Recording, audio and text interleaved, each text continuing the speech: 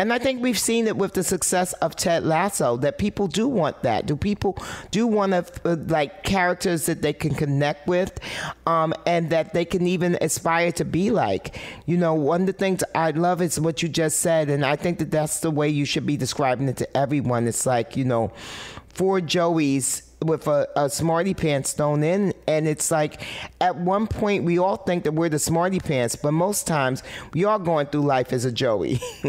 But there's there's a Oh complexity to that joey right? Yeah. Right, there's a lovely yeah. There's a lovely nuance to Grant, who Gregg Sulkin plays. So on the surface, that first episode, you really do think he's just a twit. You're like, okay, dumb blonde, but not blonde, but you know that kind of uh, you know trope. And then as you get deeper into the series, you start to see that you know he has a superpower, humanity, that he sees love and light and grace in everyone. And and isn't that the smarter way to operate in life, right? That's exactly it. I mean, that's exactly. I'm, it really warms my heart to hear you say that, Bevy, because that's what we were trying to do.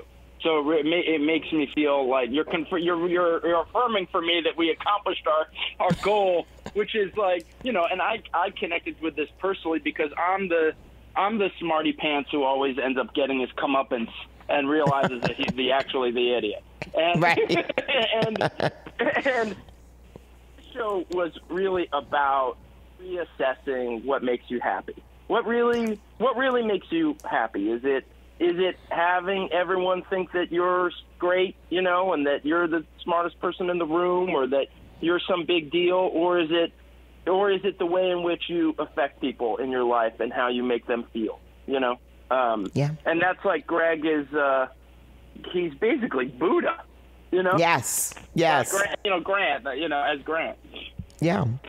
Oh, and you know, we also just saw this um that same kind of really special character in oh my gosh, why am I drawing a blank, babe? The Ted Danson show that just went off. Oh, uh, uh, uh, Mr. Mayor. The nice place.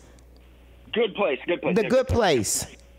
The good Yeah. place. Mm-hmm. That Absolutely. the, the the the kind of douchey, silly guy turns out at the end of that series to be the Buddha. Right. And, you know, like, in, in a way, it's not rocket science, right? Like, Yeah. you know, we know these people in our lives, you know? Yes. And you look around and you go, who's actually crushing it around here? Is it, Yeah. Mm-hmm. you know, is it is whoever, is it, the, is it whoever's getting the most retweets for their hot takes?